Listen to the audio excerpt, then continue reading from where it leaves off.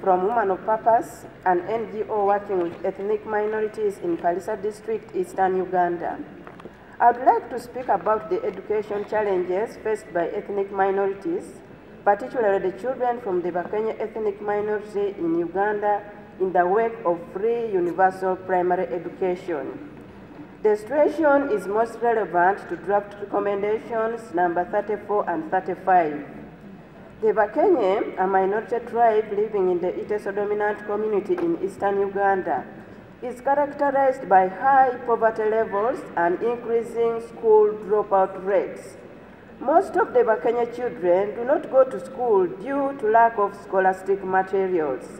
In fact, according to a research conducted by Women of Purpose in 2010, 9 out of 10 Bakenye children have never stepped in a classroom because of their parents' inability to provide scholastic materials, a fact that has contributed to the problem of high illiteracy rates and thus an ending cycle of poverty and suffering for the Bakenye community.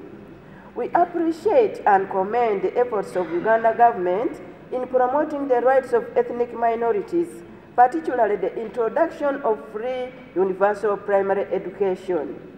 However, we would like to note that the high costs supposed to be met by parents through provision of all necessary school requirements such as school uniforms, scholastic materials, lunch at school, top up of teacher salaries who are not on payroll, building funds, etc., have left many children from poor minority communities with no choice but to drop out of school.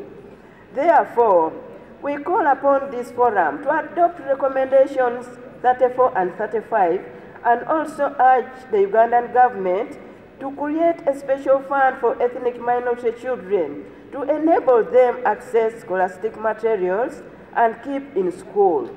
In addition, the government should provide funding to minority organizations who understand the issues of their communities and better placed to supply mechanisms that would promote the education of minority children.